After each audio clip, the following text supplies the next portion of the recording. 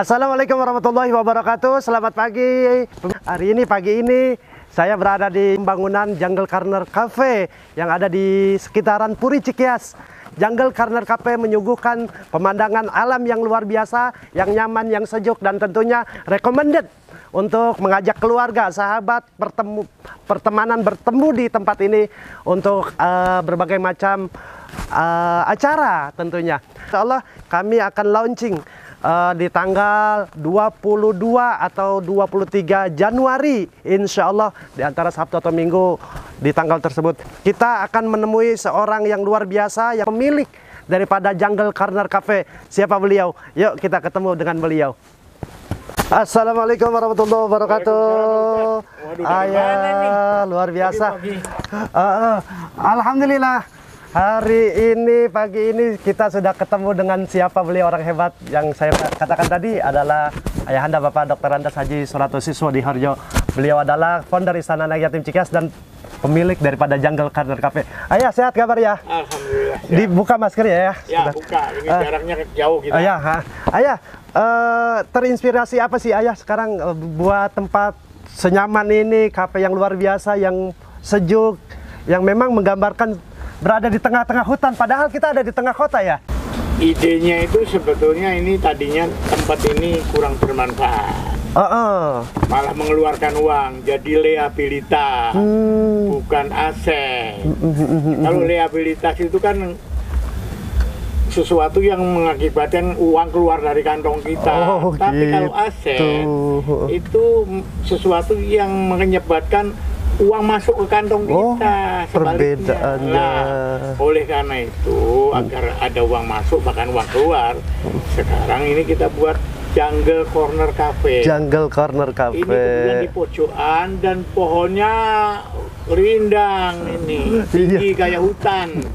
Gitu. Betul. Terus, Terus kemudian nanti yang kita jual di sini nih di Jakarta belum ada. Nanti ini semua dari Bali, namanya dari POD Coklat. POD Coklat Bali. Pot Coklat. Pot Coklat. Itu yang sana sudah ada di bandara ada. Di bandara. Di Sanur ada.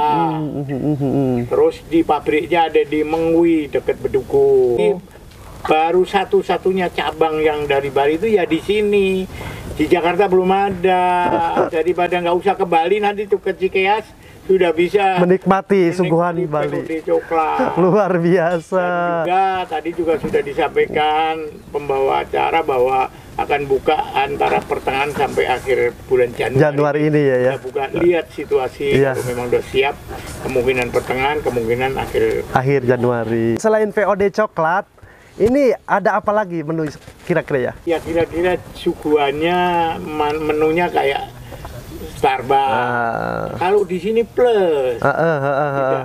semacam Starbucks, tapi juga untuk ada makan yang tidak terlalu berat, makan berat. Oh. Terus ditambah juga ada es krim. Es krim. Mengapa? Mm. Nah, di sini kan dekat sekolah. Oh iya iya iya iya. Sekolah iya. Alam Jikea.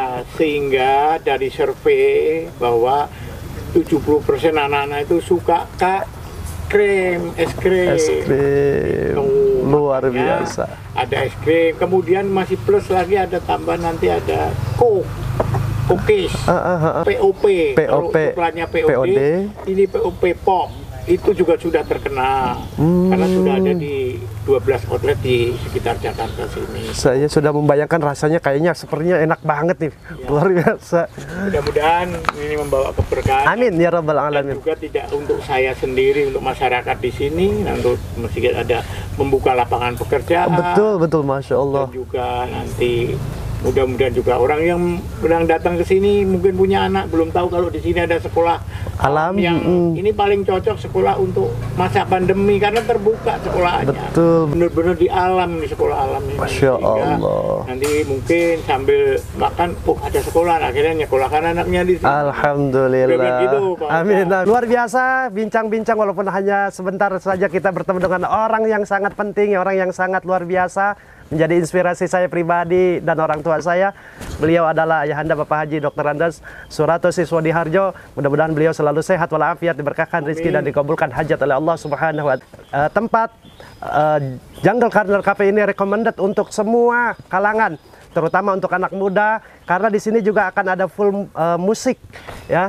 Juga kedua untuk uh, dengan suasana hutan juga recommended untuk mengajak keluarga hiburan untuk uh, sedikit refresh otak di sinilah tempatnya dan tentunya juga di sini dekat dengan sekolah alam Cikias. Sekolah Alam Cikias ini adalah sekolah yang sangat luar biasa, terbuka di masa pandemi ini. Kita memang cocok untuk memasukkan anak-anak kita di sekolah alam.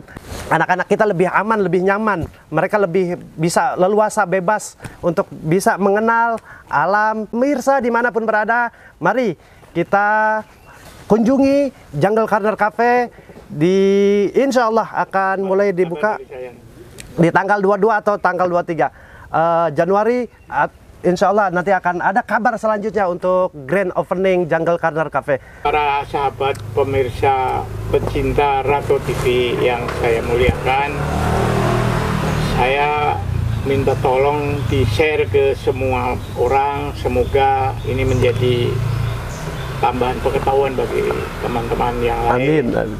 Dan share sebanyak-banyaknya. Subscribe juga, saya kira.